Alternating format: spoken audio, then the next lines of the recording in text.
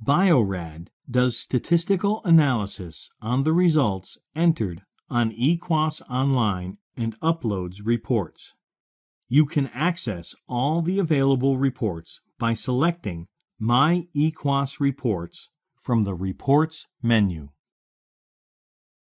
This displays the My EQAS Reports page. To obtain specific reports, select the appropriate lab ID from the Lab ID list. The program name from the Program Name list. Cycle from the Cycle list.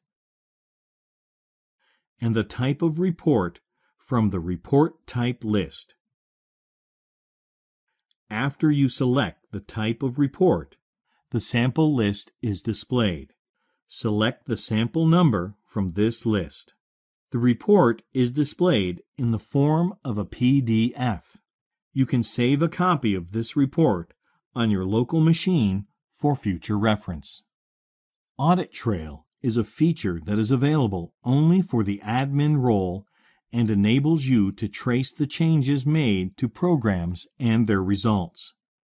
To use the feature, select View Audit Trail from the Reports menu. Specify the lab ID, program, and cycle for which the audit trail must be obtained. Optionally, you can view the audit trail by the test or event.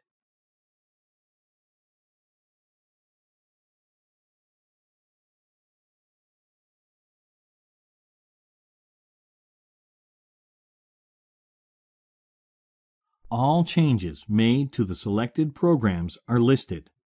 Audit Trail displays the date and time at which a change was made, the user who performed the change, lab, program, and cycle details, sample number, the range of tests, the event, and the range of the results. Sometimes the audit trail runs to multiple pages. In such cases, you can access the different pages by clicking the page links at the bottom of the page.